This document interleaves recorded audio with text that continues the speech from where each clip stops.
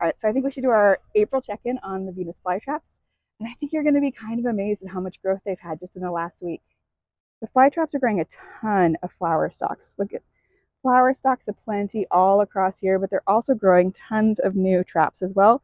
This is Persephone, the famous plant that barely goes dormant. And look at all of these new traps. You just see a ton of growth though across all of these plants. These are going to be huge very quickly. It's crazy how much they die back in winter, but you can see they're already starting to all grow like crazy. Here's Witchy Baby, another very famous plant. Look how big these spring traps are. These are huge. These are going to be gigantic come summer. You can see just across the board, everybody has traps growing in, everybody has flowers. Now remember, if you want bigger traps, if you want more traps, pinch your flowers back and do it early, like when they're this tall, you want to pinch them back.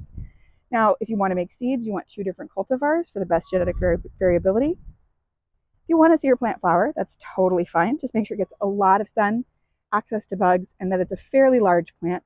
Smaller plants, it can really slow them down if they bloom. But otherwise, just do what makes you feel right for you. Look at all this.